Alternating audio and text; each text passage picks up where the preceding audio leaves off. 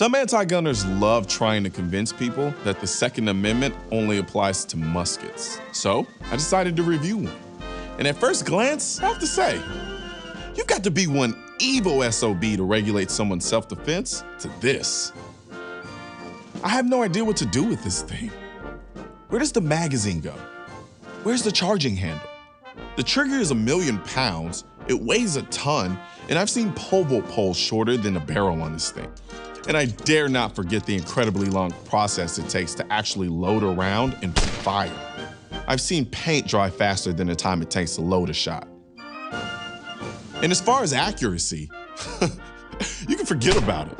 I'd be more accurate with the slingshot.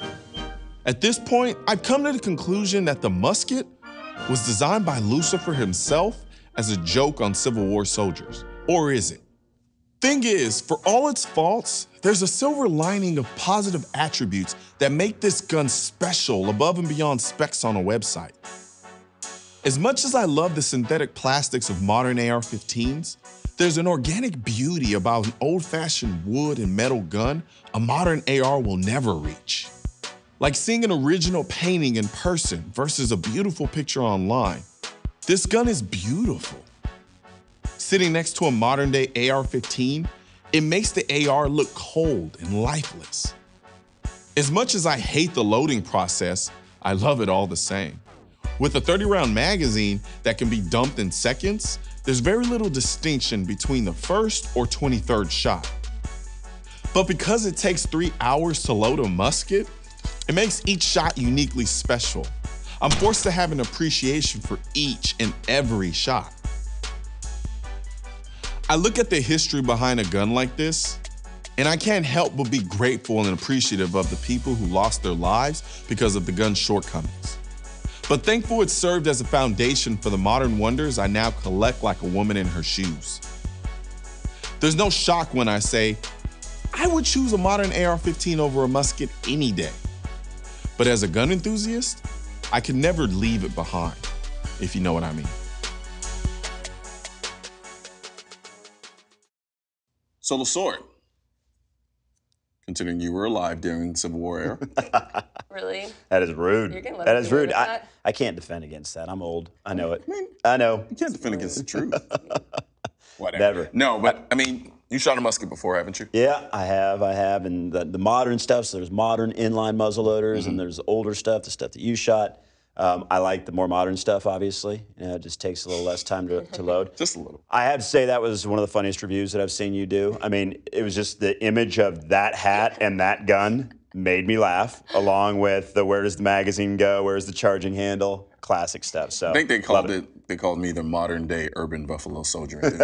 No. I think we did hear some references to that. no. But No. those little Civil War hats relative to the hat that you were wearing, it just made me laugh. I mean, Wait, so when, did, when did you actually have you used a muzzle loader before? yes, Okay. um, I hunt. So during hunting seasons, there are actually muzzleloader seasons where that's the only thing you can hunt with because I don't necessarily prefer it because it does take a long time to load and all that. Even the modern stuff. And my inexperience with muzzle loaders, we're talking completely different than the one Yeah, that. yeah, yeah. So these things actually look like rifles, but you still have to load them through the all right. muzzle, but it's much faster. Okay. You use pellets instead of the powder that he was pouring in through the funnel. And uh, my reload last time I went hunting, I was in New Mexico and in wilderness, uh, elk country, and my buddy actually shot an elk, but he was about 75 yards away. We had talked about the reload. We weren't going to actually reload. I was going to sprint to him and give him my gun because it's so much faster. So I actually That's sprinted about 75 yards because he had he had crawled up and got into the elk. And when I heard that shot, I literally got up and sprinted to him 75 yards, handed him my rifle. I grabbed his rifle. I was reloading because I didn't know what the situation was, but it worked out well. But see, it's with the muzzle, with the musket. There's it, reloading it was almost like an art form. Yeah. You know, like you go through the process, and it, it, it was it was very enlightening. Yeah. And, and and almost spiritual in some respects. But there's nothing spiritual about trying to paint a Picasso during the Civil War era war scene. I'm sorry, it's messed up. Can you imagine how stressful that would be? Like you know I people are can't. shooting at you, trying to kill you, and you're going through that process of No way. pouring powder No down way. the wad. I really felt bad Yeah. because I'm, I'm, I'm, at one point I was loading it and then imagining like, there's someone shooting at me right Yeah, now, and, right. I'm, and I'm trying to get the stupid powder inside Yeah. the stupid barrel. Not with the spilling, stu- exactly. not dropping the ball. And then you get the stupid cloth with the stupid ball in it. Yeah. Everything just becomes stupid. Well, you said the gun was made by Lucifer. I mean, I, I, I see that. That It was, another it funny was- line. It was a joke that he Yeah. played on the Civil War. Yeah. song. I mean, they all had to deal with it, but it would have been horrible. Yeah. Well, actually, it looked like a lot of fun. I would have loved to shot one. Maybe we can do that sometime in one I of the courses so. that you have planned for us. It probably would slow us down in the Like future just, on our uh, maybe a couple courses. seconds, couple maybe, maybe a little bit, but yeah.